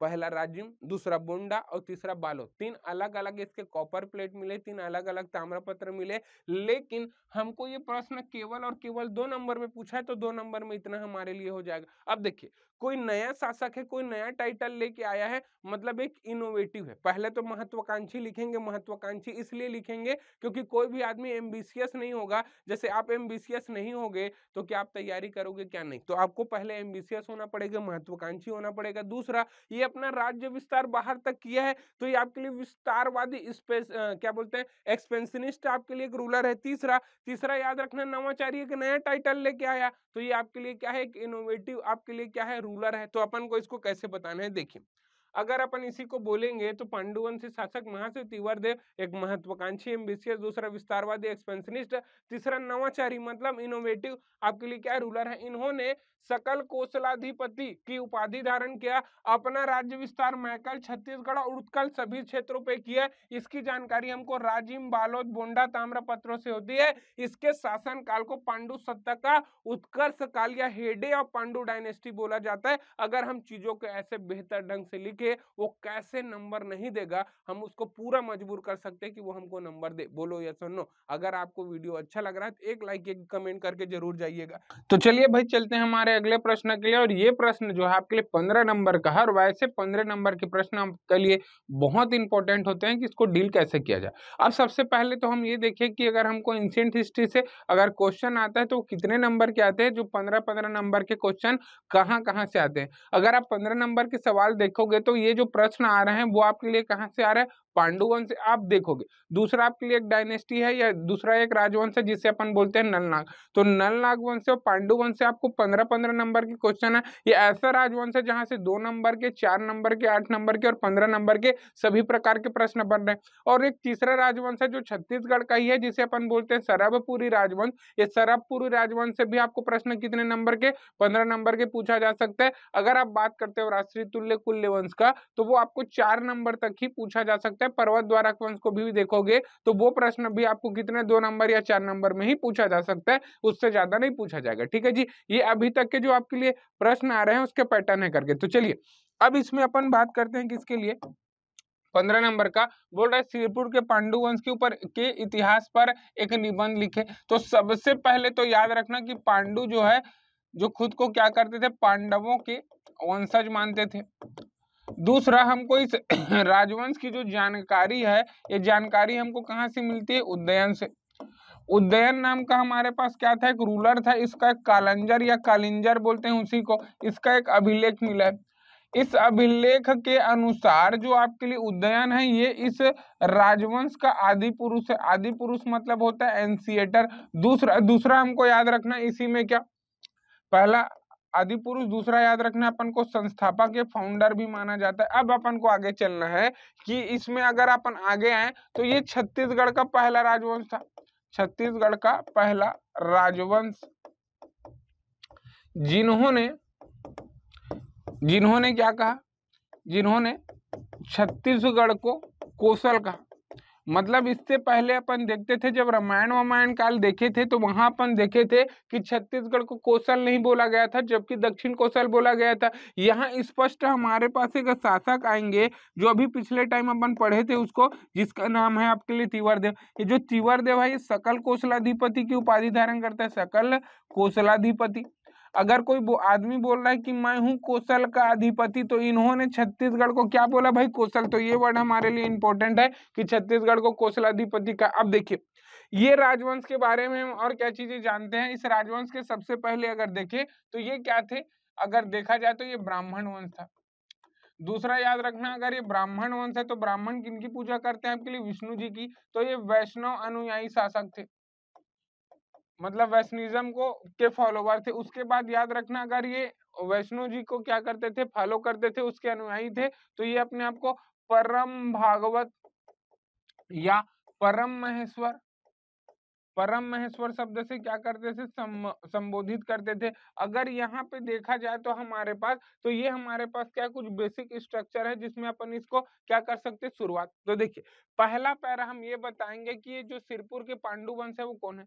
जब आपको ऐसे पंद्रह नंबर के प्रश्न पूछता है तो थोड़ा सा दिमाग में पहले से आपके लिए क्या हो? एक फ्लो चार्ट बना हो कि हमको कौन कौन सी चीज़ों को कैसे कैसे लिखना है। अगर हम इसको टोटल आठ पैरा ले ले, आठ पैरा में क्या करें? इसको लिखे आठ दूनी सोलह तो दो दो नंबर का एक एक पैरा लिख ले तो तो, तो भी बन जाएगा। देखिए तो पहला पांडव के बारे में बता दे दूसरा दूसरा इस राजवंश के बारे में बता दे और इस राजवंश में क्या बता दे और जानकारी के स्रोत तो जानकारी के स्रोत के लिए हमको सबसे पहले क्या पढ़ना पड़ेगा जी? इनका वंशावली पढ़ना पड़ेगा। देखिए वंशावली आपको ड्रॉ करूँगा मैं आपको नाम बताते जाता हूँ। सबसे पहले हमारे पास आते हैं उद्यन। उद्यन के बाद आते हैं हमारे पास इंद्रबल। इंद्रबल के बाद आता है उसके तीन पुत्र रहते पहले का नाम नन्नाराज प्रथम, दूसरे का नाम क्या है आपके लिए? ईशान देव तीसरे का नाम है भवदेव रणकेसरी। अगर बात करते हैं आपके लिए नन्नाराज प्रथम का तो नन्नाराज प्रथम के दोनों भाई हैं ये। आपके लिए कौन? ईशान देव और दूसरा कौन है हमारे पास?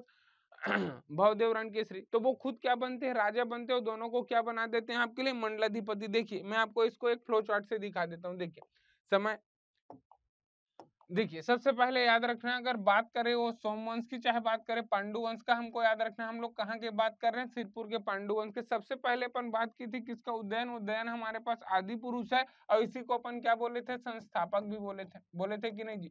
और इसकी जानकारी हमको कहाँ से मिली थी? कालंजर अभिलेख से। उसके बाद आते हैं इंद्रबल। इंद्रबल जो है, आपके लिए ये वास्तविक संस्थापक माना जाता है। रियल फाउंडर माना जाता है आपके लिए।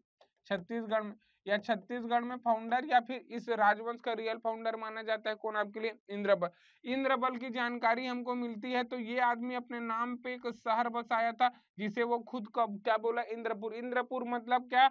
वर्तमान जो खराब है अगर कोई शासक जो है, कोई मंदिर को बनवाया है या फिर किसी शहर को बनवाया है, इसका मतलब क्या है? वो कला स्थापत्य प्रेमी आर्किटेक्चर लवर आपके लिए क्या एक रूलर है? अब देखिए इंद्रबल की जानकारी हमको और कहाँ से मिलती है आपके लिए? महासुदेवराज से। ये महासुदेवराज के घर क्या करता था? उसका सर्व अधिकार अधिकर्ता था या उसका एक दूतक था? ये हमको जा, जानकारी मिलती है और इसकी जानकारी हमको दो और अभिलेख से मिलती है। एक महासमुंद अभिलेख और दूसरा आपके लिए कौआ ताला अभिलेख। इसके तीन पुत्र थे। पहले का नाम था नन्नाराज प्रथम। ये उसका क्या बना? अगला उत्तराधिकारी। उत्तराधिकारी मतलब इसका सक्सेसर बनाए दूसरा, अपन को याद रखना है किसको ईशान देव को तो ईशान देव या दूसरा है आपके लिए भवदेवरण केसरी। तो ये जो ईशान देव है, ईशान देव की जानकारी हमको कहाँ से होती है? खरौद शिलालेख से। इसका एक रॉक इंस्क्रिप्शन मिला है कहाँ से? खरोद से। खरोद शिलालेख इसके हिसाब से हमको ये जानकारी मिलता है कि आपके लिए कौन नन्नाराज प्रथम ये अगला शासक बनता है। अगर मान लो मैं इसको पहला लिया, इसको मैं दूसरा लिया, इसको मैं तीसरा शासक ले रहा हूँ तो ये क्या किया? इसके दोनों भाइयों के बीच लड़ाई झगड़ा तो कॉमन था कि भाई अपन को भी राजपाट चाहिए करके, लेकिन ये राजपाट पे ध्यान इसको क्या करते हैं? ये थोड़ा सा दिमाग वाला रहता है। इसको क्या करते हैं? मंडलाधिपति नियुक्त कर देता है। मंडलाधिपति। और इसको भी बना देता है क्या? मंडलाधिपति। कि तू भी बन जा भाई, मेरा मंडाधिपति मतलब मैं राष्ट्रपति बन गया हूँ और तुम क्या बन जाओ मेरे लिए? आपके लिए वो बन जाओ करके। तो ये थोड़ा दिमाग लगाता है कि मैं राजा हूँ और आप दोनों मेरे लिए काम करो करके। तो इसको क्या करते हैं? महानदी का उत्तरी क्षेत्र दे देते हैं, इसको महानदी का दक्षिणी क्षेत्र दे देते हैं। अब देखिए, खरौद शिलालेख। खरौद शिलालेख से ये जानकारी मिलती है कि खरौद में हमारे पास क्या है? लक्ष्मणेश्वर महादेव मंदिर है। लक्ष्मणेश्वर महादेव मंदिर। तो ये लक्ष्मणेश्वर महादेव मंदिर का निर्माण किसके द्वारा करवाया गया था आपके लिए? ईशान देव। लेकिन इस लक्ष्मणेश्वर महादेव मंदिर में जो आपके लिए शिवलिंग है, उस शिवलिंग का स्थापना भगवान लक्ष्मण द्वारा अपने हाथों से किया गया था। इसीलिए इस खरोद को क्या बोला जाता है? छत्तीसगढ़ का काशी। हालाँकि वो यहाँ पे नहीं आएगा, ना हम हमारे आंसर में मेंशन करेंगे। लेकिन हो सकता था, आपके मन में कंफ्यूजन आता तो मैं इस चीज़ को यहाँ डील कर दिया। अगला याद रखना अपन को भवदेव रण केसरी। इसका हमको क्या मिला है? भांडक शिलालेख मिला है, भांडक शिलालेख। इस भांडक शिलालेख के हिसाब से यह भांडक या भांडक क्षेत्र का क्या रहता है आपके लिए? भांडक या भांडक क्षेत्र का क्या रहता है आपके लिए? भांडक या भांडक क्षेत्र का आपके लिए क्या रहता है? मंडलाधिपति मंडलाधिपति। आगे बढ़े क्या? अब देखें अब हमारे पास पहला, दूसरा, तीसरा, चौथा शासक आएगा हमारे पास देव। अब देखिए, हमारे पास यहाँ बताने को, लिखने को बहुत ज़्यादा है नहीं, क्योंकि हमारे पास लिमिटेड लाइन है। अगर वो हमको कितना पंद्रह नंबर में प्रश्न पूछ रहा है मतलब हम मैक्स टू मैक्स बाईस से पच्चीस लाइन लिख सकते हैं, उससे ज़्यादा नहीं। अब देखिए, हमारे पास है तीवर देव। तीवर देव ये एक उपाधि धारण करता है, यही व्यक्ति है जो बोलता है छत्तीसगढ़ को कौशल तो ये सकल कौशलाधिपति अब इसका जो आपके लिए जानकारी होता है, आपके लिए धीपति तो ये इसकी जो जानकारी मिलता है, जो हमको इन्फॉर्मेशन मिलता है, वो हमको कहाँ से मिलता है? इसके तीन ताम्रपत्र है, तीन कॉपर प्लेट हैं इसके। पहला है आपके लिए कौन सा राजिम, दूसरा है आपके लिए कौन सा बोंडा और तीसरा है हमारे लिए कौन सा बालोद ये तीन जगह से अब ये तीन जगह से हमको जानकारी मिलता है कि अपना जो राज्य विस्तार है छत्तीसगढ़ के हिसाब से, जो जो कोसल शब्द है वो कोसल में अलग अलग है। एक आपके लिए पूरा मैकल क्षेत्र आता है, दूसरा आपके लिए छत्तीसगढ़ आता है, और तीसरा तीसरा अपन देखेंगे तो उत्कल का भी कुछ हिस्सा इसमें शामिल है। तो ये अपन को याद रखना है, ठीक है जी? और इसी के टाइम को बोला जाता है पांडु सत्ता का पांडु सत्ता का उत्कर्ष काल। मतलब इमर्जिंग या हेडे इरा ऑफ़ क्या बोलते हैं अपन को? पांडु डायनेस्टी किसके टाइम को बोलते हैं? जी तिवर देव अब देखिए तिवर देव इसके बाद अगला इसका उत्तराधिकारी या इसका सक्सेसर आया, वो व्यक्ति था कौन आपके लिए? नन्नारा द्वितीय इसका पुत्र था। लेकिन ये क्या था? निसंतान था। निसंतान चाइल्डलेस था ये। तो ये जब चाइल्डलेस था तो ये इसका पूरा जो राजपाट है वो किसको चला गया? इसके चाचा इसके चाचा कौन है आपके लिए? चंद्रगुप्त। चंद्रगुप्त के पुत्र का नाम है हर्षगुप्त। ये हर्षगुप्त ने क्या किया था? एम एम एस तो याद रखना, ये यहाँ पे मगध है। मगध के मौखरी वंश के, मगध के मौखरी वंश के सूर्यदेव वर्मा, मगध के मौखरी वंश के सूर्यदेव वर्मा की पुत्री से क्या किया इन्होंने? विवाह किया। इनके, उनका ही नाम क्या था आपके लिए? रानी वाष्टा देवी। तो हमको ये याद रखना है जी। देखिए। अब देखिए, अगला अगला हर्षगुप्त का पुत्र कौन है आपके लिए? महाशिवगुप्त बारह अर्जुन अब देखिए, थोड़ा सा हमको यहाँ पे पढ़ना पड़ेगा किनको जी? थोड़ा सा हमको पढ़ना पड़ेगा यहाँ रानी वाष्टा देवी को। तो ये जो रानी वाष्टा देवी है आपके लिए, हर्षगुप्त हर्षगुप्त की पत्नी है। हर्षगुप्त की पत्नी, इनकी पत्नी है आपके लिए रानी वाष्टा देवी। ये जो वाष्टा देवी है, इन्होंने, अब क्या होता है, कालांतर में इनकी मृत्यु हो जाती है किनकी हर्षगुप्त की तो अपने पति, हर्षगुप्त की स्मृति में, हर्षगुप्त की स्मृति में या मेमोरी ऑफ़ हर्षगुप्त, ये क्या करती छत्तीसगढ़ में पहला ईटो निर्मित ईटो निर्मित मंदिर का निर्माण करवाती है। किसके लिए? अपने पति के लिए। और इसी जो आपके लिए छत्तीसगढ़ का पहला ईटो निर्मित मंदिर था कहाँ बना था? सिरपुर में। इसी को आज के टाइम में हम लोग लक्ष्मण मंदिर सिरपुर बोलते हैं या आपके लिए सिरपुर का विष्णु मंदिर बोलते हैं, ये दोनों सेम टू सेम है। ये आपके लिए लाल ईटो निर्मित था और ये आपके लिए कौन से शैली में बना था जी? नागर शैली में, नागर शैली में बना था। अब देखिए, चूँकि ये छत्तीसगढ़ का पहला, क्या बोला हूँ मैं आपको, लाल ईटो निर्मित मंदिर है तो छत्तीसगढ़ का पहला अगर ये लाल ईटो निर्मित मंदिर है तो ये क्रांति लेके आएगा, जैसे कोरोना आया। कोरोना आने के पहले आपके लिए ऑनलाइन इसका मार्केट बूम नहीं था। अभी आप देखोगे एक बच्चे को बहुत सस्ते में और कई अलग अलग कोचिंग है सब फ्री में कंटेंट डाल रहे हैं। अगर बच्चा ईमानदारी से, शिद्दत से पढ़ूँगा भी बोलेगा तो उसको बहुत सारे कंटेंट और बहुत सारे गाइडेंस किसके यूट्यूब के माध्यम से मिल जाता है। कई आपके लिए जैसे कॉम्पिटिशन कम्युनिटी का भी ऐप है, उस ऐप में आप जाओगे तो आपको बहुत सारा चीज़ आपको फ्री में मिल जाएगा, जो आपके पेपर के पॉइंट ऑफ़ व्यू से बहुत बहुत और बहुत क्या है इंपॉर्टेंट होता है। देखिए अब अपन को बोल रहा है कि छत्तीसगढ़ का पहला ईटो निर्मित मंदिर बनाए इसीलिए इसको क्या बोलते हैं? छत्तीसगढ़ का मंदिर निर्माण काल, मंदिर निर्माण काल। मंदिर निर्माण काल माना जाता है भाई, ठीक है? तो ये आपको ये वर्ड इंपॉर्टेंट है आपके लिए, अपन जब इसको आंसर करेंगे तो इसको अपन को क्या करेंगे? फ्रेम उसके बाद आते हैं हमारे पास बालार्जुन। अगर मैं अलग से पढ़ूं किसको बालार्जुन को देखिए, ये बालार्जुन मेरे लिए। तो याद रखना है मेरे को बालार्जुन। तो ये बालार्जुन कौन है हमारे लिए? तो बालार्जुन ये बचपन से तो इसका नाम क्या है आपके लिए? महाशिव गुप्त महाशिव गुप्त बालार्जुन। अब देखिए, बालार्जुन के कुछ अपन कार्य देख लेते हैं तो ये स्थापत्य कला प्रेमी शासक था। स्थापत्य कला प्रेमी शासक। तो ये क्या करता है? सबसे पहले सिरपुर। सिरपुर में दो शिव मंदिर का निर्माण करवाता है, दो शिव मंदिर का। पहले का नाम है आपके लिए क्या? गंधेश्वर। गंधेश्वर महादेव बोलते हैं अपन। और दूसरा क्या है हमारे लिए? पहले का नाम गंधेश्वर और दूसरे का नाम है हमारे लिए क्या? बालेश्वर महादेव। बालेश्वर महादेव। उसके बाद एक जगह है हमारे लिए कौन सा? पलारी। पलारी कहाँ पड़ता है अपन को? बलौदा बाज़ार में, सिरपुर कहाँ पड़ता है? महासमुंद में। यहाँ हमारे पास है सिद्धेश्वर महादेव। अगर आप जाओगे कहाँ पे? खरौद में। तो खरौद में हमारे पास क्या है आपके लिए? अंडल देउल मंदिर। अंडल देउल शिव मंदिर, ये भी एक शिव मंदिर है। और ये भी क्या है हमारे लिए? महादेव या शिव मंदिर है ये भी। अब देखिए चार चार क्या किया है आपके लिए? शिव मंदिर बनवाए हैं। देखो ये चार। ये चार हमारे पास क्या है? शिव मंदिर है। इसके बाद अगर अपन देखें इसको तो अगला अगला यहाँ से हमारे पास है। तो देखिए, आपके लिए सिरपुर, पलारी, खरौद, उसके बाद अपन को याद रखना है यहाँ। अगला है आपके लिए सिरपुर। सिरपुर में क्या करता है ये? विष्णु मंदिर का काम। विष्णु मंदिर का अभी जो रानी वाष्टा देवी में पढ़े थे ना, वो मंदिर के काम को पूरा नहीं करवाई रहती तो पूरा कौन कराते हैं? तो सिरपुर में विष्णु मंदिर का कार्य पूर्ण करवाते हैं। अब देखो, इनका जो बालार्जुन का एक स्वर्ण मुद्रा मिला है, गोल्ड कॉइन मिला है स्वर्ण मुद्रा। ये स्वर्ण मुद्रा हमको कहाँ से मिला है जी? बालपुर से।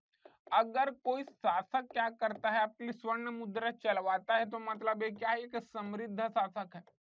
और ये आपको ये भी बताता है कि इतना वैभव है मतलब ये इसके प्रोस्पेरिटी को भी बताता है और ये इसको ग्लोरियस जो है, इसको भी बताता है। तो ये प्रोस्पेरस और दूसरा एक ग्लोरियस क्या था आपके लिए रूलर था, ये अपन को। उसके बाद बोल सकते हैं कि आपके लिए क्या था, आपके लिए कला स्थापत्य प्रेमी या इसी को बोल सकते हैं कि आपके लिए आर्किटेक्चर लवर आर्ट लवर था, ये अपन को बोल सकते हैं। दूसरा, अब देखिए एक साथ, एक तो विष्णु जी को इन लोग मानते हैं तो विष्णु मंदिर का काम तो पूर्ण कराता है, लेकिन साथ में विष्णु शिव मंदिर का भी निर्माण करा। मतलब ये धार्मिक सहिष्णु शासक था और इसी के टाइम पे हमारे पास छह सौ सिक्स थर्टी नाइन ईस्वी, इसमें हमारे पास क्या आता है? एक जन आदमी आता है, नाम है उसी का वेन सॉन्ग। ये वेन सॉन्ग जब आता है छत्तीसगढ़ तो दो, जगह विज़िट करता है। पहले जगह का नाम है सिरपुर और दूसरे जगह का नाम है मल्हार। अगर बात किया जाए किसका आपके लिए मल्हार का। अगर बात किया जाए सिरपुर का तो ये सिरपुर में जब आता है तो बोलता है इसकी किताब का नाम है सी यू की तो सी यू की के अनुसार से अगर आप देखोगे तो महाशिवगुप्त बालार्जुन ने महाशिवगुप्त बालार्जुन ने बहुत सारे बौद्ध विहारों का मतलब बहुत सारे बौद्ध आपके लिए मोनेस्ट्रीज का क्या करवाया था, यहाँ पे निर्माण कराया था।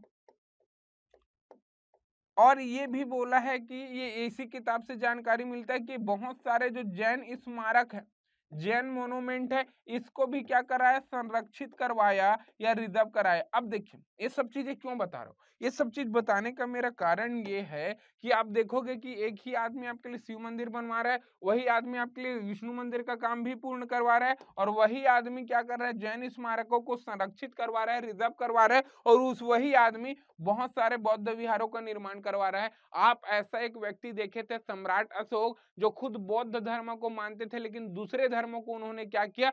पर्याप्त संरक्षण दिया, रिजर्वेशन दिया। इससे क्या होता है, एक राजा जो है, धार्मिक रूप से ये क्या करता है, सब लोगों के द्वारा एक्सेप्ट किया जाता है, सर्व स्वीकार्य होता है या यूनिवर्सल उसका एक्सेप्टेंस बढ़ता है। तो ये हम यहाँ से बता सकते हैं कि ये हमारे लिए एक धार्मिक सहिष्णु शासक भी था। अब देखिए इतना सारा चीज़ एक एक निर्माण हुआ, इसीलिए इसके टाइम को क्या बोला जाता है? छत्तीसगढ़ में आपके लिए स्मारक स्मारक मतलब मोन्यूमेंट स्मारक निर्माण का काल। स्मारक निर्माण का काल अब देखिए, ये आदमी अब जब अपना राजपाट चालू किया था तो उस टाइम में बैठा था 595 से लेकर सिक्स डबल फाइव ईस्वी, इसका क्या है आपके लिए? रूलिंग टाइम पीरियड है या फिर इसका शासन काल है? एक व्यक्ति साठ साल रहा है, इतने सारे काम करवाया है तो इसी के टाइम को ही बोला जाता है छत्तीसगढ़ के इतिहास का। छत्तीसगढ़ के इतिहास का स्वर्ण युग या golden era of history of Chhattisgarh बोला जाता है। किसके टाइम को? महासिगुप्त बालार्जुन के बारे। ये महासिगुप्त बालार्जुन आपको दो नंबर चार नंबर में अलग से पूछ सकता है और अगर पेपर एक आध बार टफ हुआ तो ये आपको आठ नंबर में इंडिविजुअल भी दे देगा। तो अपन को ऐसे थोड़ा उसको देख के, सोच के आपको क्या करना है प्रिपेयर करना है। अब देखिए, अगर इस राजवंश को मैं डील करूँ तो कैसे? देखिए, पहले दो नंबर में मैंने क्या बोला था? पांडुवंश के शासक स्वयं को पांडवों के क्या मानते थे? वंशज मानते थे।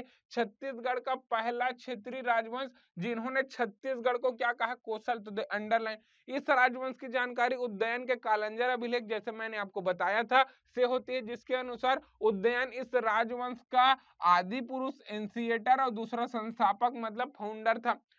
यह ब्राह्मण राजवंश था, एक ब्राह्मण डायनेस्टी थी। इनकी जो लैंग्वेज थी, इनकी जो भाषा है, वो क्या थी? संस्कृत थी। इनका जो टाइटल था उपाधि था, परम भागवत या परम, आपके लिए महेश्वर था। आप देखिए, इस राजवंश में अन्य जानकारी के अन्य स्रोत कौन कौन से देखिए ईशान देव का खरोदा अभिलेख बताया था, भवदेव रणकेसरी का, भांडक शिलालेख बताया था तिवर देव का, राजीव बालोद, बोंडा ताम्र पत्र बताया था और महाशिवगुप्त का, बालार्जुन का क्या मिलता है, सिरपुर शिलालेख जिससे हमको ये जानकारी मिलता है कि सिरपुर में इन्होंने लक्ष्मण मंदिर का काम पूर्ण करवाया, जिस लक्ष्मण मंदिर का काम किसने चालू करवाया था, इनकी माता वाष्टा देवी द्वारा। ठीक है जी यह सुनो, समझ आ रहा है आपको? अगर चीज़ें अच्छी लग रही हो, तब मेरे को एक लाइक एक कमेंट करके जाइएगा कि कोमल सर आपका क्लास कैसे था करके? देखिए, अगला, अब अपन चालू करते हैं कि इस राजवंश में कुछ आपके लिए शासकों की उपलब्धियों, ये आपको प्रश्न अलग से और पूछ सकता है आठ नंबर में। कि पांडुवंशी शासकों की उपलब्धियों पर क्या करें? टिप्पणी लिखे, लेख लिखे शॉर्ट नोट्स लिखे, उसको एक्सप्लेन करे। तो उदयन उदयन को क्या पढ़े थे? इस राजवंश का संस्थापक क्या? आदि पुरुष। अगला इंद्रबल, इस राजवंश का वास्तविक संस्थापक था। एक कला स्थापत्य प्रेमी शासक था। कला स्थापत्य प्रेमी क्यों बोले? क्योंकि इन्होंने अपने नाम पे एक शहर बसाया जिसे अपन क्या बोलते इंद्रपुर। तो देखो, वो लॉजिकल होना चाहिए कि आप जो चीज़ लिख रहे हो, वो उस रूलर को सूट कर रहा है कि नहीं? अपन बोल दिए कि, सर, अपन वेजिटेरियन है, उसके बाद आपको क्या हो रहा है? चिकन बन रहा है, उसका खुशबू भी आ रहा है, सर, वो तो मेरे को अच्छा लग रहा है। तो एक तो तुम पहले बोल दिए हो कि तुम वेजिटेरियन हो, दूसरा में तुमको नॉनवेज का खुशबू अच्छा लग रहा है। तो दो चीज़ क्या हो गया? कॉन्ट्राडिक्शन हो गया, दोनों एक दूसरे के विपरीत हो गए तो ऐसा नहीं करना। पहले हमको देखना है कि क्या काम किया तो काम किया उसके हिसाब से हम बताएँ कि क्या था ये कला स्थापत्य प्रेमी शासक। उसके बाद याद रखना नन्नराज प्रथम यह इंद्रबल का ज्येष्ठ पुत्र था और अपने दोनों भाइयों, ईशान देव और भवदेव रण के श्री को क्या बनाता है? खरौद और भांडा क्षेत्र का मंडलाधिपति। साथ में याद रखना महाशिव तिवर देव एक महत्वाकांक्षी मतलब एम्बिशियस विस्तारवादी मतलब एक्सपेंशनिस्ट। और एक्सपेंशनिस्ट क्यों है ये? विस्तारवादी क्यों है? क्योंकि ये सकल कौशलाधिपति का क्या किया था? उपाधि धारण किया था। बोलो या सुनो। और इसके शासन काल को ही क्या बोले थे? पांडु सत्ता का उत्कर्ष काल या हेड या emerging era of Pandu dynasty बोले थे कि नहीं बोले थे, हम आपको बताए थे भाई, ठीक? आगे बढ़े क्या? अगला अगला हम पढ़े थे नन्नरा द्वितीय हम बोले थे कि चाइल्डलेस थे, निसंतान थे, और इनकी मृत्यु के पश्चात इनके चाचा चंद्रगुप्त को क्या बनाया था? पांडु वंश का शासक बने चंद्रगुप्त। ये क्या था इनकी जानकारी? हमको सिरपुर शिलालेख से होती है जिनके अनुसार ये क्या बने? हर्षगुप्त के इसके उत्तराधिकारी कौन थे? हर्षगुप्त। अब देखिए, हर्षगुप्त।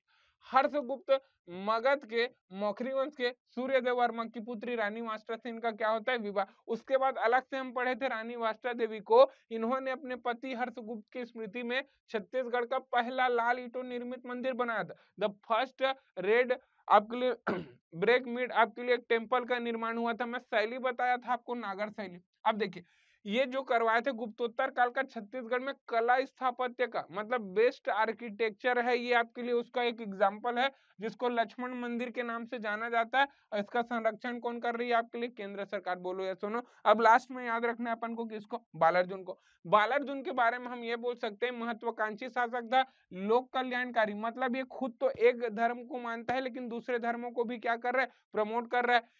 और ये प्रजा हित ऐसी था, कला स्थापत्य प्रेमी आपको बताया था, धार्मिक सहिष्णु शासक था, इनके शासनकाल को छत्तीसगढ़ के इतिहास का स्वर्ण युग the golden era of history of Chhattisgarh बोला जाता है। इन्होंने सिरपुर में गंधेश्वर बालेश्वर महादेव, पलारी में सिद्धेश्वर महादेव, खरोद में अंडल देउल मंदिर, ये सब के सब क्या है आपके लिए? चारों शिव मंदिर है। सिरपुर में फिर विष्णु मंदिर का काम क्या करवाया था? पूर्ण करवाया। अनेक बौद्ध विहारों का निर्माण करवाया। किसके द्वारा पता चला था हमको? आपके लिए वेन सॉन्ग के ट्रेवल ऑक्स यूकी के द्वारा। उसके बाद जैन स्मारकों को संरक्षित करने का काम किया था। इसी कारण पांडुवंश को छत्तीसगढ़ में स्मारक निर्माण का भी क्या बोला जाता है? स्वर्ण युग अब देखिए, जब भी कोई क्वेश्चन अपन आप क्या करें? आठ नंबर में या पंद्रह नंबर में करें, हमारा एक नैतिक दायित्व है कि हम क्या करें? अब देखो, इसको इंक्लूड करना पड़ेगा कि भाई, लास्ट में ये राजवंश छत्तीसगढ़ के लिए क्यों इंपॉर्टेंट है या इनका कंट्रीब्यूशन या फिर इनका योगदान क्या रहा है? अब देखिए, छत्तीसगढ़ के शासन में मंदिर निर्माण का दौर यहीं से प्रारंभ हुआ इसीलिए पांडुवंश को छत्तीसगढ़ में मंदिर निर्माण का काल माना जाता है। हम इसको बताए थे कि नहीं? उसके बाद हम बताए थे कि इसकी पुष्टि वेद के सी यू की सी से प्राप्त होती है कि ये जो राजवंश है, कल्याणकारी प्रजा हितैषी और साम्राज्यवादी शासन आपके लिए था ये करके। ठीक है जी? देखो, ये एक छोटा सा मेरा प्रयास रहा आपके लिए। चूँकि ये मेरा आपके लिए पहला वीडियो है और मैं आपसे चाहूँगा, आपसे आपके लिए, मैं आपका दुलार में चाहूँगा, अगर मेरा वीडियो आपको सच में अच्छा लगा हो कि मेरा आपके लिए प्रयास की सर अगर मैं आपको एक घंटा दिया हूँ तो इस एक घंटा से मेरे लिए बहुत सारे डायरेक्शन खुले कि मेरे को ये चीज़, या फिर आप ये भी बता सकते हैं कि सर ये वाला क्वेश्चन का ये वाला पार्ट मुझे बहुत अच्छा लगा, इस प्रकार से चीज़ों को मैं और बेहतर ढंग से समझ सका, आपको जैसा भी लगा हो, आप ज़रूर एक कमेंट करके बताइए, बिल्कुल ना सोचे कि सर अभी देख रहा हूँ, एक साल बाद देख रहा हूँ, दस साल बाद देख रहा हूँ या एक करोड़ साल बाद देख रहा हूँ। आप जब देख रहे हैं, तब कमेंट कर सकते हैं। मैं एक करोड़ साल बाद आ जाऊँगा आपके कमेंट को देखने के लिए। ठीक है जी? मिलेंगे अगले वीडियो में। तब तक आप पढ़त रहो, बढ़त रहो। काबर की आप पढ़ू आप बढ़ू, तब छत्तीसगढ़ आपसे बढ़ी करके। ठीक है? तब मिलबो अगला वीडियो में। तब तक के लिए जय जोहार और जय छत्तीसगढ़.